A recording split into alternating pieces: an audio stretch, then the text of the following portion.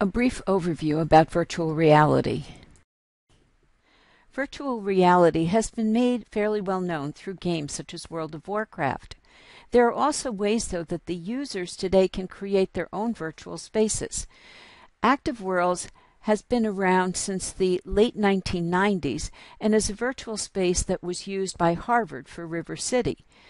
Stephen Rosedale had been working on his own version of virtual realities and came out with Second Life in 2003. Both of these platforms have avatars that can be used for free, but to actually create the islands costs money.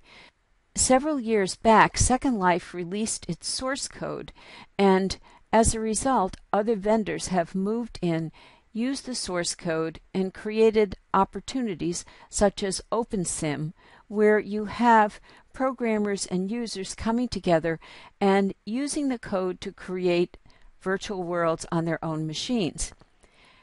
However, you need rather significant technical expertise, and as a result, other vendors are coming out and providing servers at lower cost than Second Life and using the advantage of the open source code itself. As more vendors and suppliers come on the market, you'll see things like Hypergrid Business show up as a way to provide information to those who want to use virtual worlds. Recently, too, more advances are coming out in the way that the users will interface with virtual spaces. The Oculus Rift is promising to have a more human like experience where the avatars respond to the gestures of the person sitting at the computer, not just through keyboard.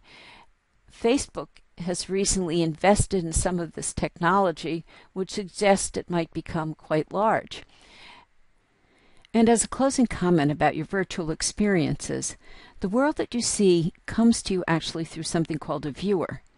Second Life has its own viewers, but with the advent of the open source movement, more viewer vendors have come on the market, each one claiming that their viewer is either better for view the viewers themselves or for developers. So you'll need to make up your own mind there.